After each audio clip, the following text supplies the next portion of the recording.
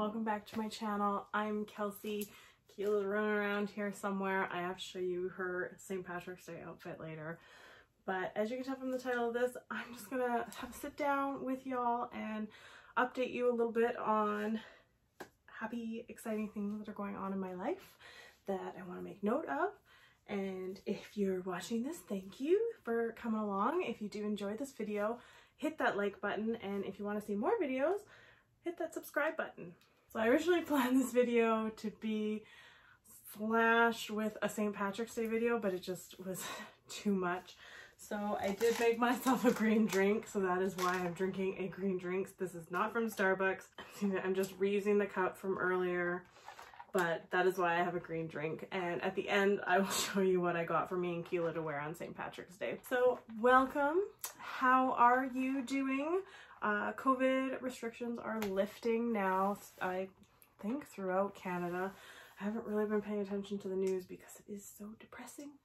I did hear in BC where I live that we can now gather outside with up to 10 people, but that same 10 people can only hang out with each other. So like that 10 can't go hang out with another group of 10 kind of thing. Don't think people are really listening to it, but things are easing a little bit here, which is a little nerve wracking. I do have anxiety and it is something I think about. I also am a little more anxious lately because I have surgery coming up, a surgery that I've waited, I want to say almost two years for. it's been a long time coming.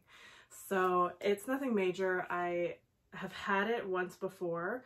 I had a cyst on my wrist that I had removed and it came back in a different spot. And every few years it, I guess it comes back and it just bothers me because I was in school and we had to do typing tests and typing fast hurt so much. So I had to get it removed and it did help for a bit but I would say about a year later it came back and now we're six years later 2013 that's eight years. Oh my gosh it's been another eight years. Um so now it's starting to bother like really bother me again and i type for a living. I'm gonna have that taken care of. What sucks though is originally my first surgery i had the local um, freezing so i wasn't put to sleep or anything. I was awake for it.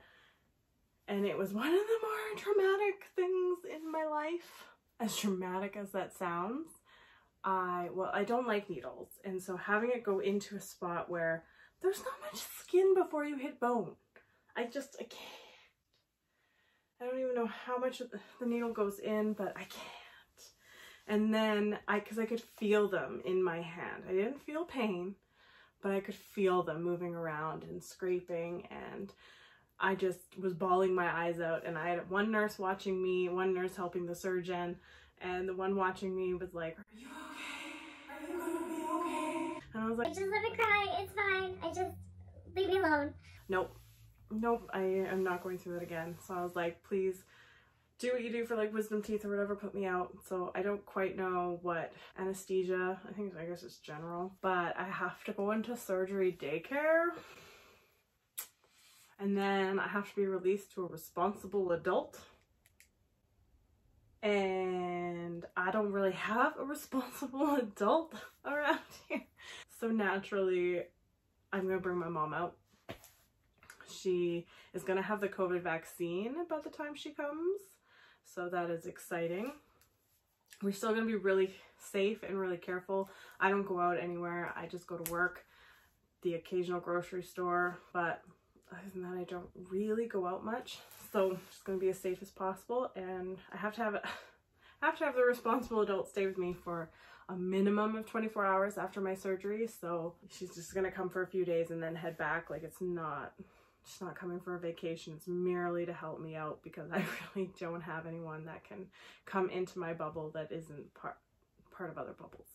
This surgery just kept getting pushed. It was originally supposed to be, I think it was January 4th, 2020 but that was the day after I was coming home from Christmas holidays and it was just too short a notice so I had to say no and then COVID happened. And then in, I want to say November, I called them and they gave me a date of March 15th.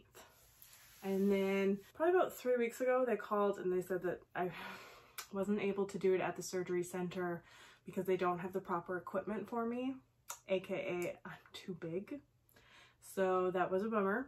I thought I would have to wait a very long time until a reschedule, but luckily they got me in only a couple weeks later on April 1st, which I've been told they can't pull an April Fool's on me in the afternoon because then they're the fools. So I hope that's true, but I cannot say anything for my mother. She may or may not do something. And I may or may not do something to her. It's really lucky because I quit my job. I quit the worst job I've ever worked at and the most stressful job I've ever worked at. So I'm, I'm very happy to be leaving it behind for something really amazing. Uh, it's in an area of law that I've always wanted to be in. And it's just very exciting. So I was concerned about trying to find a job and having to accommodate my surgery, but luckily it being on April 1st, the 2nd and the 5th are holidays. So the Friday and the Monday are holidays and I need about a week. So I only have to take, I think it was a day and a half off of work. So that's a day and a half that I, I won't actually have a job. Then on the 7th, I start my new job. So that is very exciting. I'm so, so, so excited.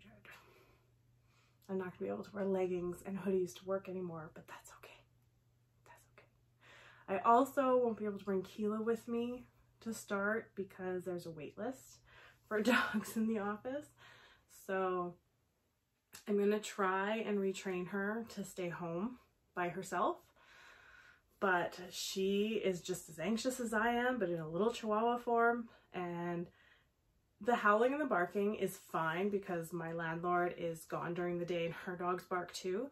So that is fine eh, other than for Harley's sake. But I'm thinking of moving Harley into my room so that, because Keela does most of her howling out there. So to try and get her away from it. But she also will scratch things and sometimes destroy things to the point where she might injure herself. So I'm really looking and reviewing if it's really in her best interest to stay with me to start because my mom is coming down. I might just send Keela back with her so that she can still have her interaction, less stress on her because if anything happens to her, I don't know what I'll do. I just don't. I can't her have a heart attack or something. I just can't. So I'm going to be thinking about that and that might be happening and that's going to be very, very, very sad because I've already had to do that once. But so I, I know this wasn't a long video or a very exciting one, but I will show you Keela's outfit now and my stuff that I have for St. Patrick's Day and bid you farewell. Come here, babe. Show me your shirt. Come here. Yay!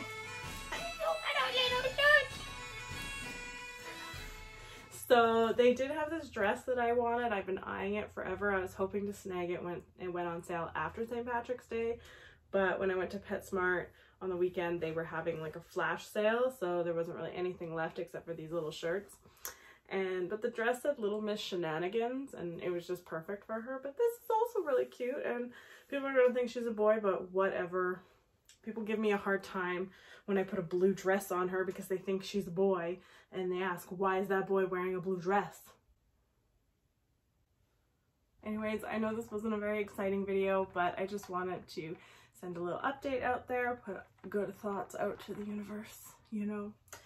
So, and since this is coming out on St. Patrick's Day, happy St. Patrick's Day, y'all. If you made it to this point, thank you so, so much. I appreciate your support.